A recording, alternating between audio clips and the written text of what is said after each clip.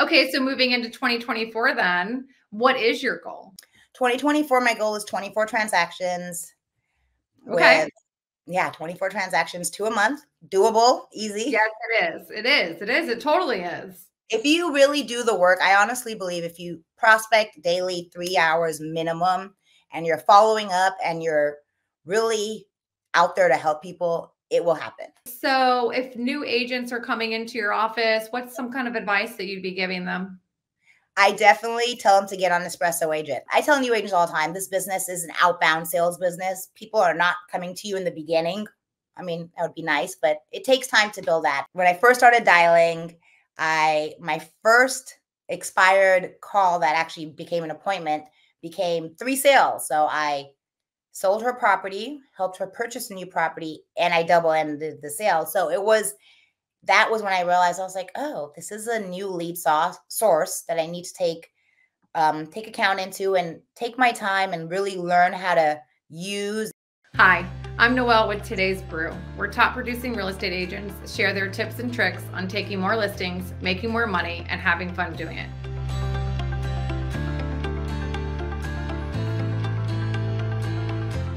On today's episode, we welcome Payal Kir from the San Francisco Bay Area.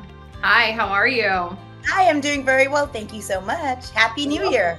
Happy New Year. Let's jump right into it. You're the first person on the show for 2024. Yay. Let's talk a little bit about you first and tell us a little bit about yourself.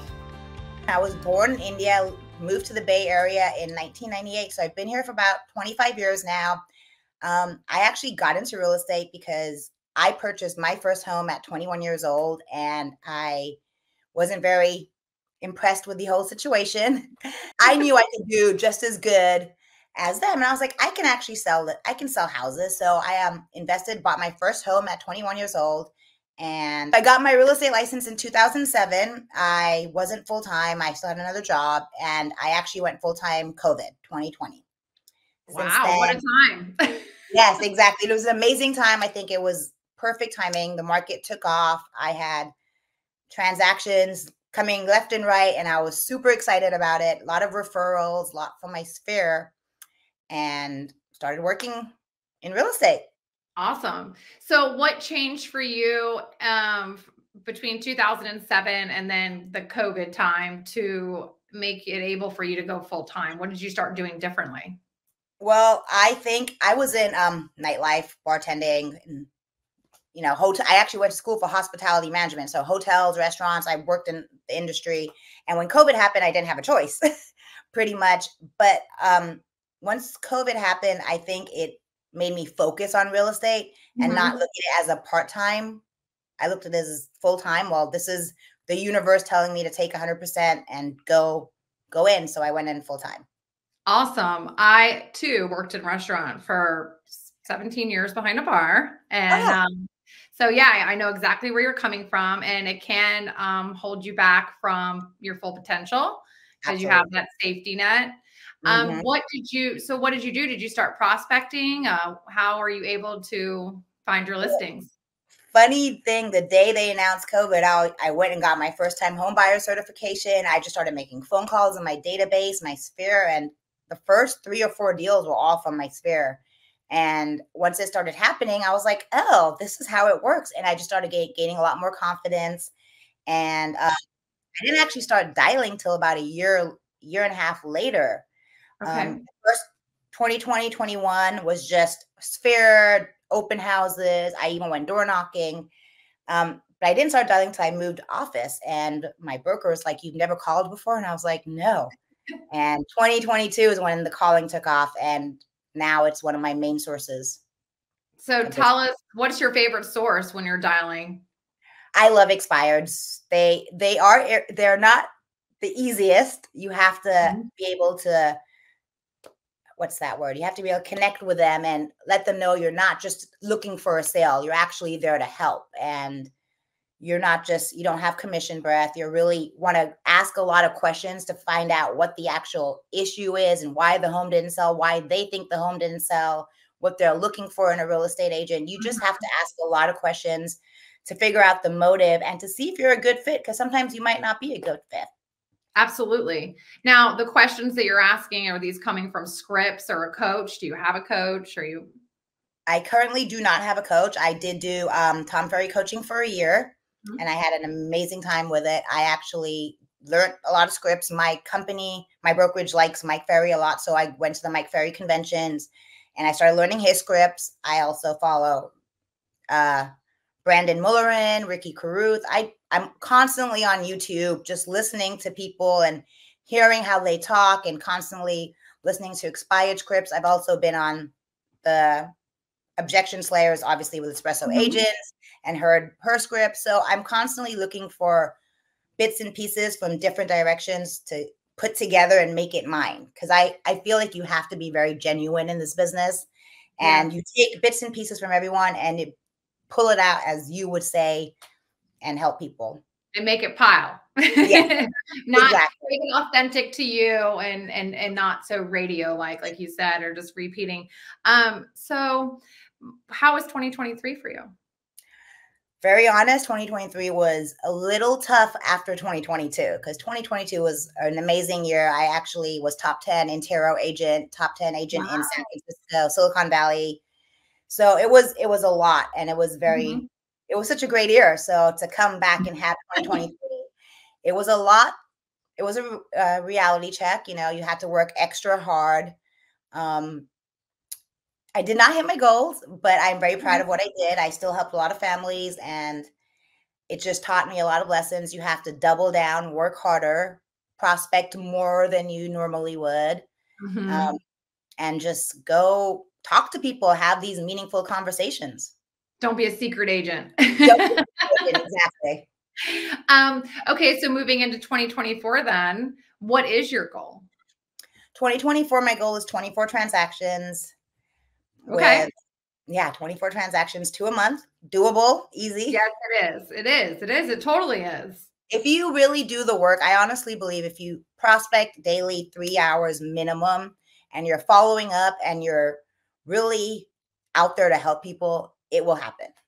Absolutely. So tell me what your mornings look like then for prospecting when you get up, when you get on the phones. I'm usually up between six and seven, depending on how early I went to bed um, up six and seven, and I, I'm at my desk every day at eight o'clock, no matter what. Okay. I'm making calls at 8 a.m. I try to get on my desk at 7:30, watch a couple of YouTube expires or read a script and just practice with myself. And then I'm ready to go at 8 a.m. I have a mirror in front of my desk. So I'm looking at myself, I'm smiling, I'm standing up and talking and mm-hmm. calling.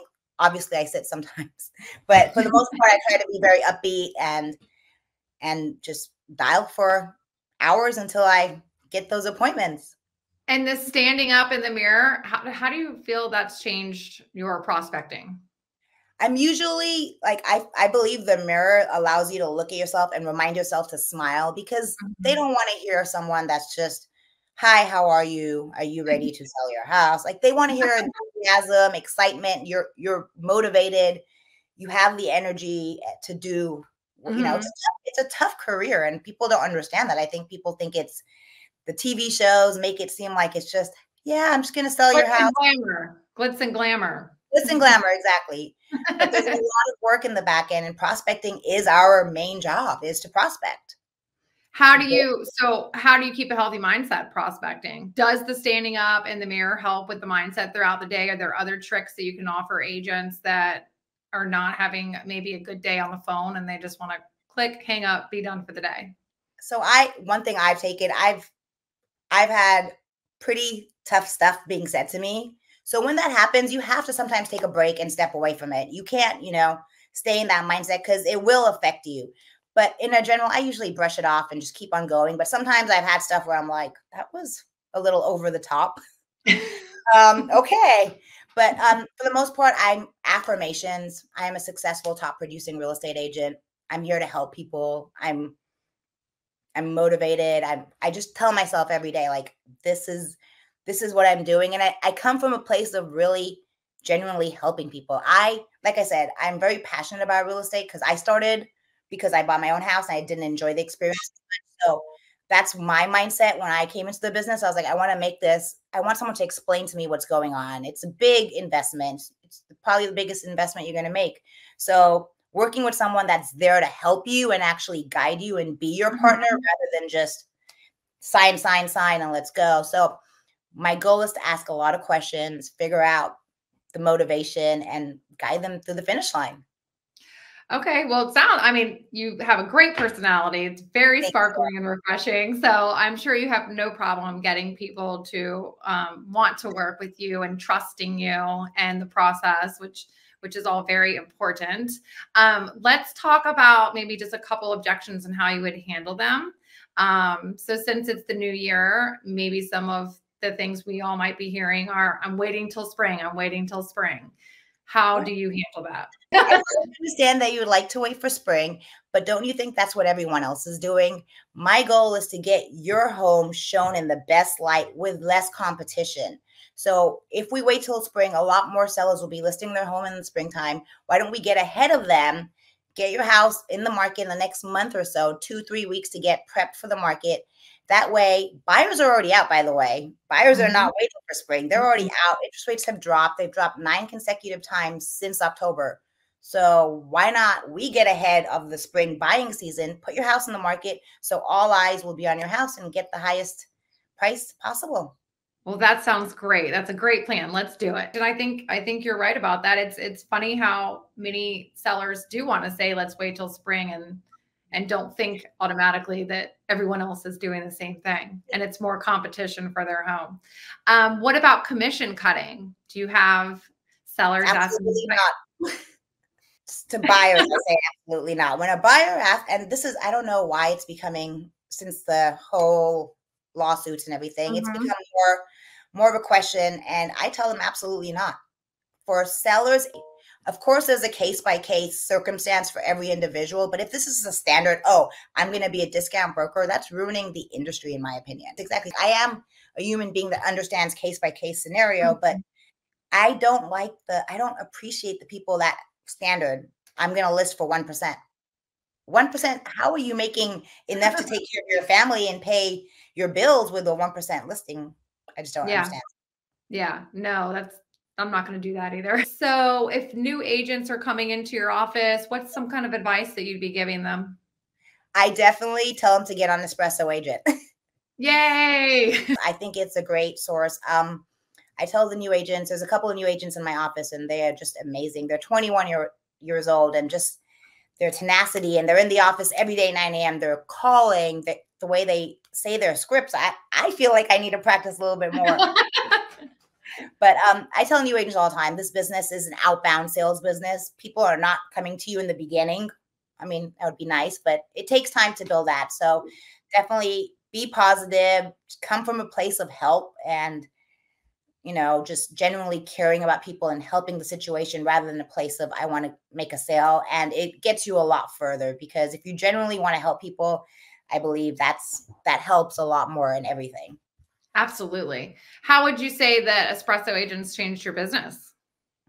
I when I first started dialing, I my first expired call that actually became an appointment became three sales. So I sold her property, helped her purchase a new property, and I double ended the sale. So it was that was when I realized I was like, oh, this is a new lead source that I need to take um, take account into and take my time and really learn how to use and because I mean there's expireds, there's neighborhood search, there's there's just everything. You can you can find different avenues to to get data and make phone calls. Exactly. You can I have to be honest, I haven't really tried the neighborhood search, but I mm-hmm. need to look into it because no one's doing that.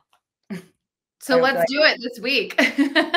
you, uh, what 30 minutes? If you're on the phones for three hours girl that's that's oh. impressive a minimum every day. Yes minimum three hours a day. Some days i've sat in my house for like six hours when i'm home and i'm just like dial dial dial. It's it's incredible. Now does that mean if you're does that mean you're not doing just listed and just sold calls? No i'm not. I'm just doing mainly expireds and i do sometimes circle prospect I don't do just I do just listed just so like I said I need to focus more on that. Yeah. But my main source is expired because you know you already know that they're they're motivated, they want to sell, and they're they always list again. Like usually, yes, absolutely. How do you get around the um, objection of them saying that they're going to use their agent that they were already using? Well, I say, why didn't, why don't you think the mm-hmm. first six months was enough time for them to property? Like, are you looking to help a friend or are you looking to sell your house? You know? Absolutely. I, I, I pretty much take what they say and ask them the question back. Well, you want to use your agent. I totally understand and appreciate that. But what did your agent do the first time where it didn't work? And why would you use them again if it didn't work the first time? Was six months not enough time? That's perfect. Perfect. like a second. Can I get you the appointment? Yes, exactly. It does. Awesome. awesome. Make sense? You know, you wouldn't, this is your biggest asset. Wouldn't a second opinion make sense? 10, 15 minutes of your time. Are you free Tuesday at four or Wednesday at four? Perfect. Thank you so much for coming on. What a refreshing way to start the new year. I hope you hit your 24 goals. I know you will. Thank you. Perfect. I'm going to touch base with you towards the end of the year and see if you did that and where you're at with your goals. And maybe we'll have you back on for a little follow up. Awesome. I would love that. Um, tell everyone how they can get in touch with you, social media, um, just how, how we can send you referrals. Instagram, payalkir.realtor. My phone number is 415 702 7330. And Facebook, Payal Kir, Payal Kir Homes. Perfect. Thank you so much for coming on today. Thank you so much for your time, Noel. Have a great year, everybody.